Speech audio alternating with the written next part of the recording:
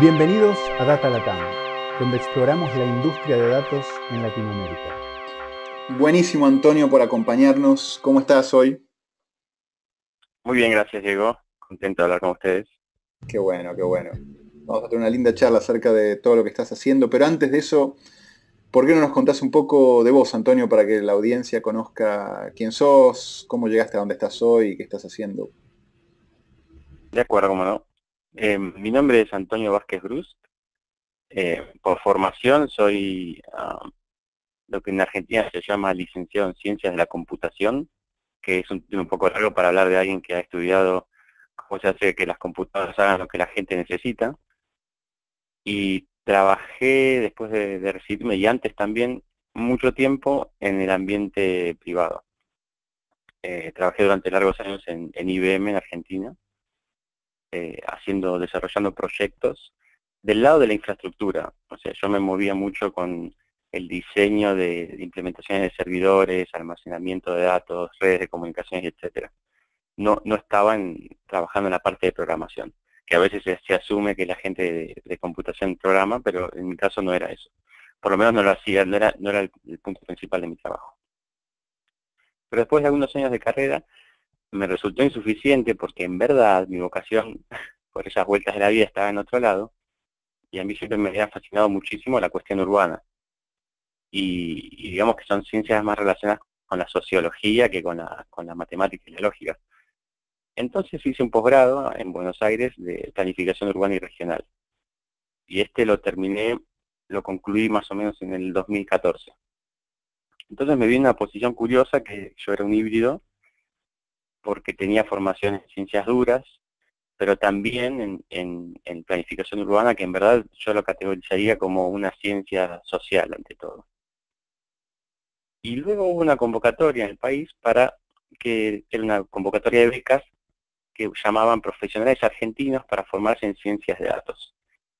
Y para ese entonces yo tenía claro que había un campo naciente que se le llama Urban Informatics, a veces se le llama Smart Cities o, o todavía tiene términos similares porque, no, porque es muy nuevo, que se trata de Data Science aplicado a la gestión de las ciudades. Entonces me propuse como becario, explicando por qué creía que, en Latinoamérica y nuestro país en particular se iba a necesitar eh, con mucha intensidad gente preparada para el, nuevo cambio que pro, propone el, el, paradigma del Big Data. Mm, fui aceptado, entonces tuve los medios para eh, viajar a los Estados Unidos, porque ese era el contexto de la beca, para hacer un posgrado, digamos, a mi elección. Investigué el panorama eh, y encontré, por ejemplo, en la ciudad de Nueva York un programa interesante de, Urban Informatics, uno en la Universidad de Chicago y uno en, Northeastern, que es una universidad aquí en Boston. Por suerte fui admitido en las tres universidades, comparé los programas, las duraciones y algunas cuestiones más, y terminé aceptando la admisión en Northeastern. En, bueno, Urban Informatics, para definirlo brevemente, es en, la aplicación de técnicas de análisis de datos en grandes volúmenes para conocer mejor la ciudad y siempre esto con algún interés en mejorarla. O sea, Urban Informatics es un campo donde se, problematiza la situación de la ciudad, y esto no es algo que sea muy difícil. Todos los que vivimos en ella tenemos algún comentario acerca de qué podría mejorar y se está buscando la forma de cerrar los, los baches, de cerrar eh, las fisuras que hay entre la ciudad como queríamos, como queríamos que fuera la ciudad como es, conociéndola mejor a través de datos. Y la idea que se, la, idea, la base epistemológica de que la ciudad se puede conocer mejor en base a datos es, al igual que en otros campos que usan Big Data, admitiendo que estamos viendo una explosión en la cantidad de información que se genera que hay una disponibilidad y un volumen y una capacidad de procesar información como nunca antes hubo y parece haber una especie de salto cuántico comparando con décadas anteriores. Entonces, ante la sensación... Sí, cómo no. Eh, perdón que te interrumpa, pero el hecho de que es data geolocalizada, ¿eso influye en la, la complejidad de cómo se debe manejar o, o, en el volumen? En mi opinión, sí, pero no de forma extraordinaria. Eh, tengo un profesor que, que siempre hace un comentario muy gracioso, que da un, da un curso de que se llama Análisis de Series de Tiempo y Estadísticas Espaciales. Entonces, a medida que pasaban las semanas, nos estábamos concentrando constantemente en, análisis de series de tiempo y, técnicas de análisis de, datos seriados en el tiempo. Y yo le decía, pero profesor, ¿cuándo vamos a ver el espacio? Y se ríe y decía, ah, el espacio es igual que el tiempo, pero una dimensión más. Vos aprendés estas técnicas y después es fácil. Lo que quiero decir con esto es que si bien la información georreferenciada es, es su propia clase de criatura y, a, la larga uno termina adquiriendo ciertas prácticas y técnicas muy específicas, en el fondo, uno como, como científico de datos o data scientist, termina abstrayendo todo en tal medida que no se preocupa tanto por la cantidad de dimensiones y ni siquiera por el volumen de la información, sino en particular por qué tan sólida es la técnica analítica y qué tipo de inferencias se pueden extraer de la información. ¿Por qué no nos metemos en el proyecto que cuando estábamos recorriendo las calles ahí por Boston me empezaste a comentar para tratar de, meternos en un proyecto puntual donde eh, puedas hablar de las técnicas que utilizaste, qué datos tenías de entrada, cómo los procesaste? Bueno, ahí eh, Franz y yo vamos a atacarte con mil preguntas, pero ¿por qué no contás un poquito de ese proyecto y en base a eso podemos meternos en lo que acabas de decir?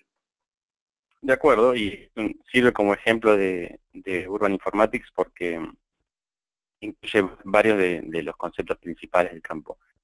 El proyecto es el, estudio de la gentrificación, y ahora de nuevo estamos en otra palabra, eh, una castellanización del término gentrification. Que siempre cuando hablo con hispanoparlantes del término, no sé si, decirlo en inglés o, o españolizarlo, pero en todo caso vamos a usar la palabra en inglés. Gentrification es un fenómeno que, todo el mundo conoce, que está ocurriendo de forma contemporánea en, varias de las ciudades del mundo, que se trata de el regreso o la colonización, digamos así, de las clases medias y clases altas de barrios en la ciudad que hasta entonces eran considerados bohemios o de clase obrera o incluso pobres. Eh, son zonas que estaban eh, a veces dilapidadas, en general olvidadas durante muchos años por la inversión oficial, a veces en zonas en zonas portuarias que las ciudades han abandonado en el siglo XX o en viejos polos, cerca de viejos polos em, industriales. En la ciudad de Buenos Aires a uno le viene a el caso de, Palermo, que es un barrio que ya lleva más de una década como un barrio deseable para vivir caro y, donde, donde hay actividad de galerías de arte, nuevos museos y cosas así. Pero hasta fines de los 90 era un barrio barato para vivir. Era un barrio donde había, donde había talleres mecánicos porque el, alquiler del suelo era, accesible. Pero todo esto cambió cuando empieza a llegar gente del nivel adquisitivo más alto, ocupa el barrio en general apreciando justamente calidades que tiene como estar bien conectado por transporte público o estar cerca del centro, o incluso un, intangible que es que es un barrio un poco bohemio o, edgy, ¿no? que tiene su gracia vivir ahí. Otro es el Meatpacking District en la ciudad de Nueva York, por ejemplo. Y la el componente no tan feliz del, proceso de gentrification que la población original, que a veces es vulnerable, o, grupos inmigrantes, por ejemplo, que vivía ahí justamente porque no le quedaba otro y porque era barato, se ve desplazada porque sube rápidamente el alquiler de, de la vivienda el costo de vida en general en el área.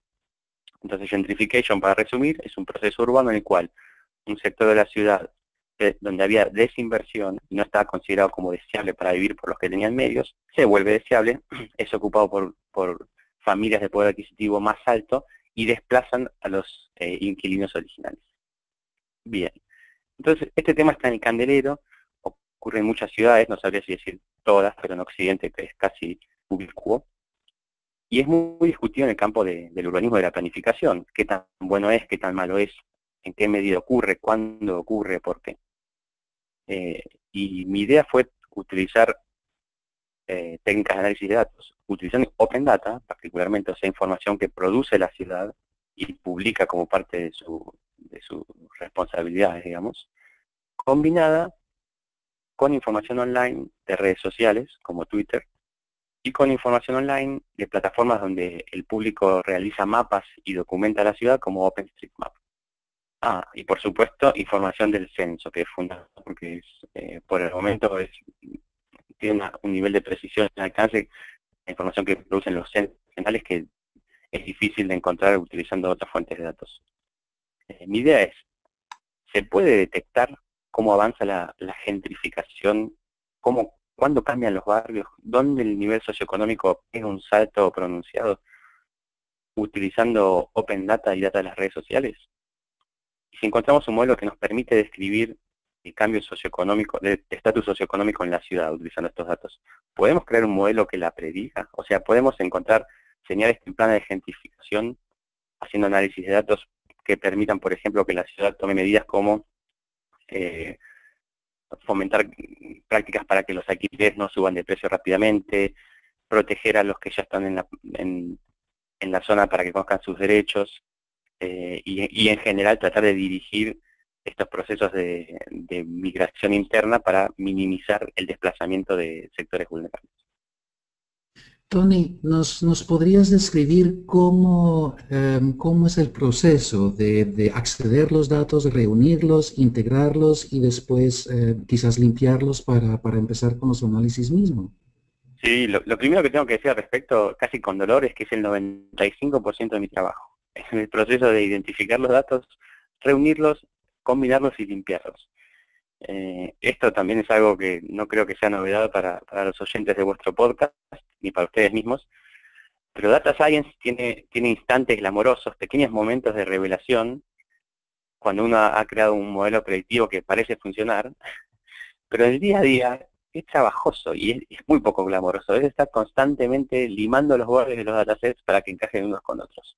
¿Cuáles herramientas usas típicamente para, para acceder a los datos y limpiarlos? Tengo gran amor por mis herramientas me acostumbré a ellas y antes, pero no quiero entrar en ninguna clase de, polémica nerd acerca de cuál es mejor y peor. En general trato de presentarme como agnóstico a la tecnología que se utiliza para el análisis de datos. Yo creo que si cumple con su trabajo, está bien, está perfecto.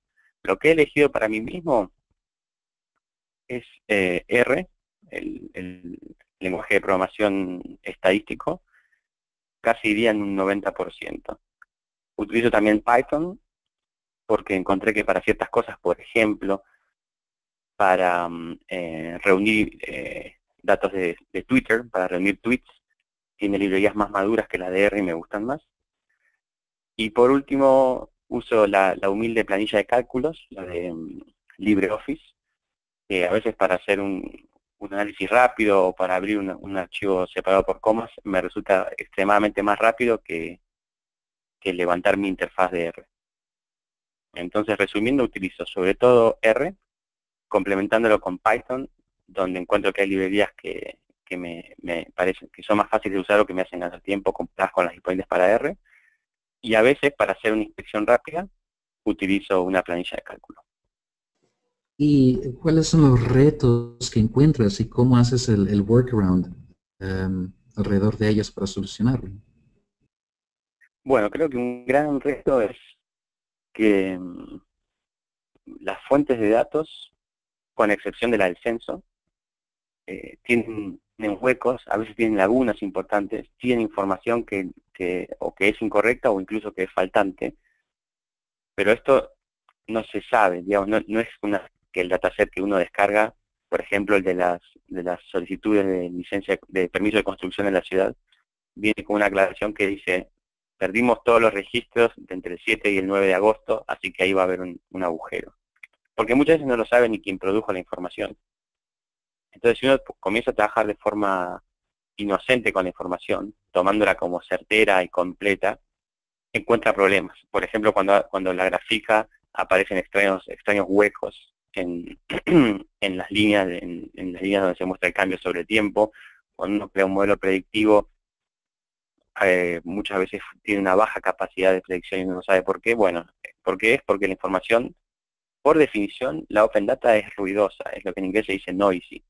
Con esto quiero decir que la relación entre señal y ruido a veces es un poco baja. ¿Por qué? Porque la está produciendo, la está produciendo personal que, a veces es nuevo en esto, porque es nuevo para todas las ciudades. Em, por otro lado, también es un misterio.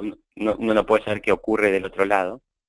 Eh, en, cada eh, oficina o, departamento de la ciudad que publica su data la Junta y la, y la, hace disponible a los ciudadanos.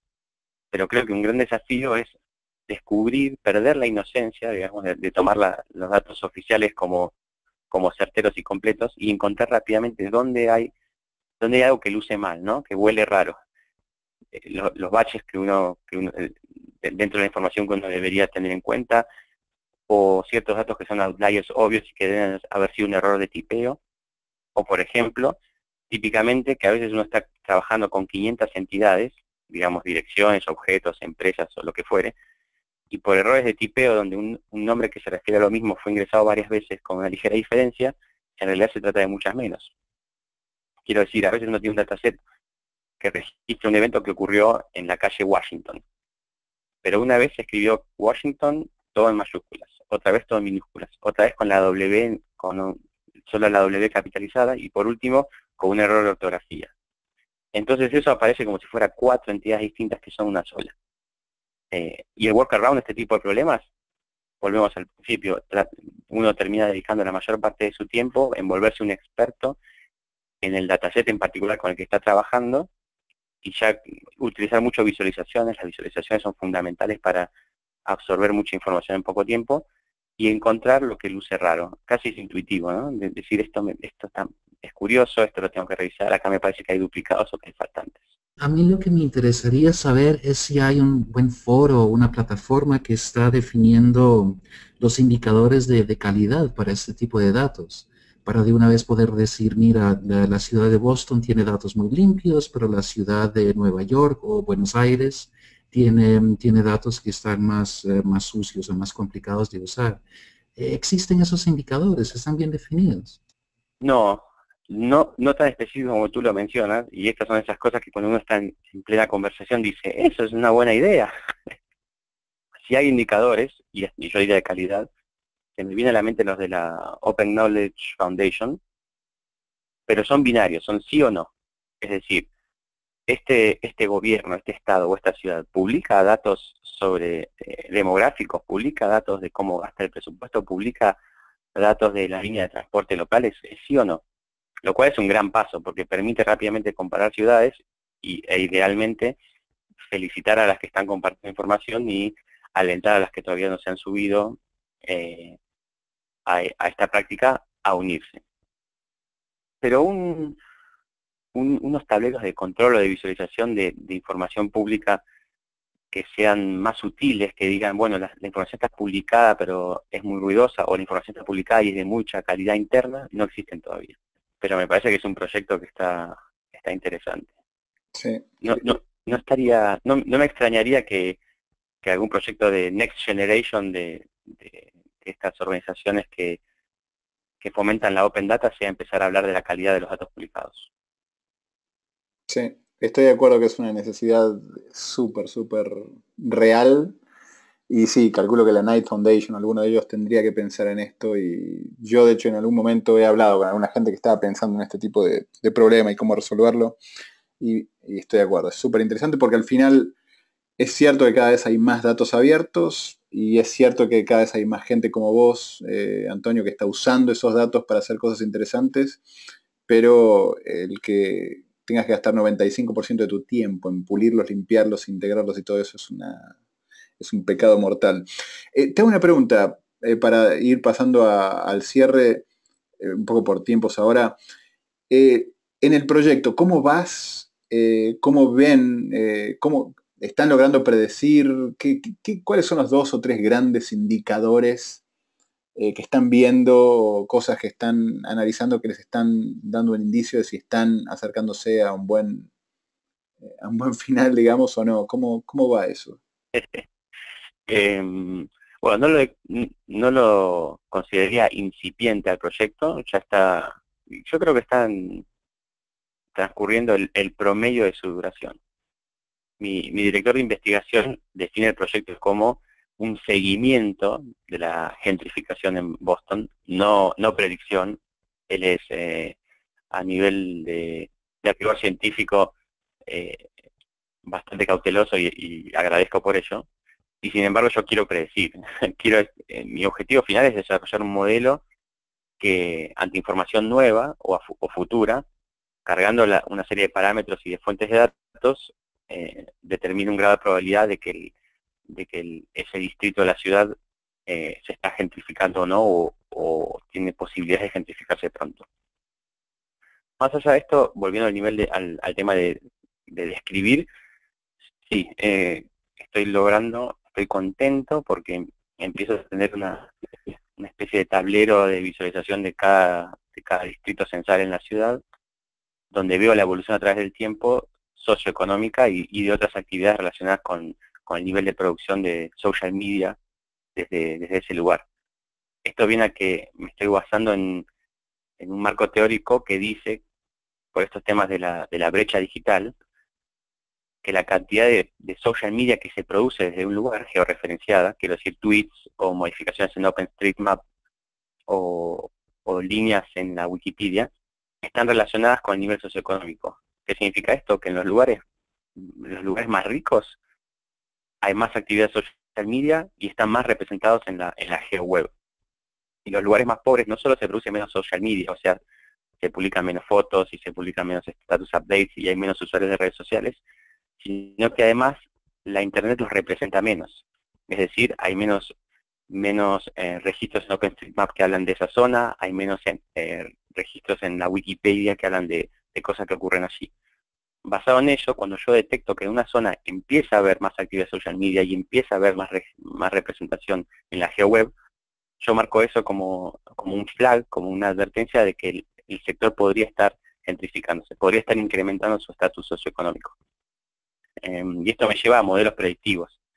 Estoy trabajando con algunos que yo llamaría sketches de modelos predictivos, y si bien son mejores que, arrojar una moneda, o sea, tienen una, cuando los, los pruebo contra un dataset de, de, de training, eh, su, su eh, índice de, de, efectividad al predecir que un distrito se va a gentrificar o no es mejor que un 50%, está lejos de poder ser usado como, como una herramienta para informar política pública, digamos. Entonces, en resumidas cuentas, la parte de descripción, estoy contento que está avanzada, la parte de predicción necesita aún mucho trabajo. Wow, no, no, súper interesante y con eso creo que hay para, para varios años más de, analizar todo esto, porque sí, mira, en otro, en otro podcast en algún momento vamos a hablar de los distintos modelos de predicción y los, las cosas que has eh, tenido como opciones y utilizado, pero ¿sabes qué? Rápido, eh, a la hora de pensar en predecir, ¿qué tipo de eh, algoritmos y modelos tuviste en cuenta y cuál elegiste? Sin meternos en mucho detalle, porque yo ya si no, digo tardísimo, pero ¿cuáles son los que tuviste como alternativas y cuál elegiste y por qué? Y ya después pasamos al cierre. Perfecto, bueno, voy a hablar de dos. En, la, que está explorando la información, tuve el problema de decir, eh, si yo voy a definir o voy a tratar de predecir cuando un, distrito de la ciudad cambia rápidamente su estatus socioeconómico, ¿qué es estatus socioeconómico? ¿Cómo lo defino? Y sobre todo, ¿cómo lo defino de forma que un algoritmo pueda decir si esto ocurre o no? Para ello usé una técnica de, de machine learning eh, no supervisado, se llama así, ¿no? Unsupervised Machine Learning, que se llama análisis de componente principal. Y lo que hice, utilicé un algoritmo que toma como, como input todos los distritos censales de la ciudad a lo largo de 14 años, que es el periodo que estoy analizando, y evalúa el porcentaje de desocupación, el porcentaje de, de gente que es dueña del lugar donde vive, el, porcentaje de egresados de universidad locales, el valor medio de la renta, el valor medio de las casas y ese tipo de cosas, y extrae características principales que son las que permiten diferenciar rápidamente entre grupos de distritos. Por, y acá identifiqué, por ejemplo, que lo, más importante, o sea, el eje a través del cual se, orientan los distritos de la ciudad, tienen en un extremo el, el valor medio de, de, la propiedad y en otro extremo el porcentaje de desocupación, lo cual en el fondo es obvio. Obviamente, si uno, si uno toma el espectro socioeconómico y mira de punta a punta los distritos más pobres de los distritos más ricos, en los distritos más pobres va a ser muy alto el indicador de desocupación y en los distritos más ricos va a ser muy alto el indicador valor promedio del metro cuadrado. Sin embargo, y esto suena obvio, para mí fue muy importante poder definirlo matemáticamente, digamos, poder probarlo estadísticamente para tener una base sólida para la cual luego empezar a hacer análisis estadístico. Para eso, bueno, usaba PCA, Primary Component Analysis, o análisis principal de componentes.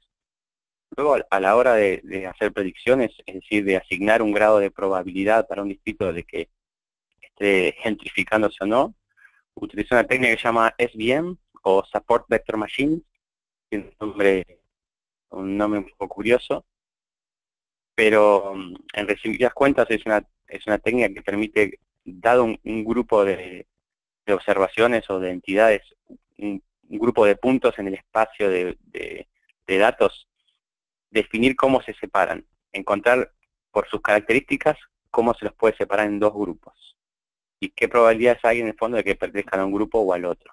En mi caso, lo que yo quería predecir es, este distrito de la ciudad, ¿se está gentrificando o no? ¿Era binario, sí o no?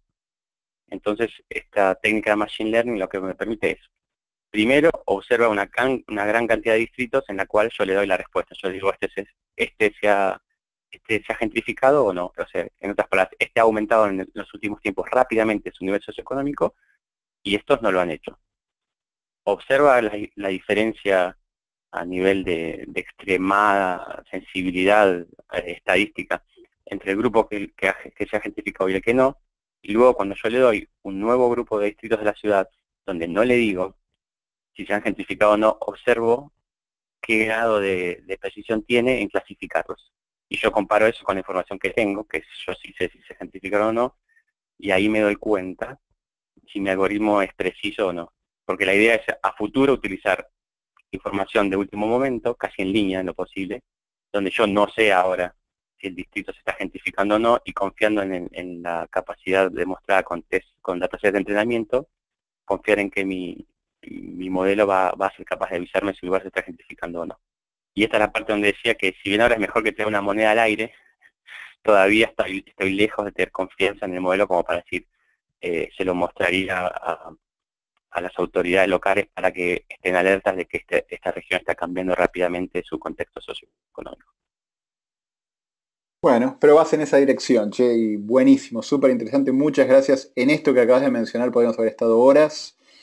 Lamentablemente, si no, eh, se nos va a ir el tiempo, pero vamos a hacer un seguimiento en algún momento cuando estemos hablando de, Support Vector Machines, por ejemplo, para que, hables un poco más de eso. Eh, mira, para ir terminando, eh, sé que hoy en día estás con Dharma Tech, no sé si quieres comentar algo de esta nueva empresa que armaste, el por qué y qué están haciendo, si te interesa mencionar algo, hacer algún plug. Sí, como, no. Es, un gusto para mí porque es una empresa muy pequeña, una empresa boutique diría yo.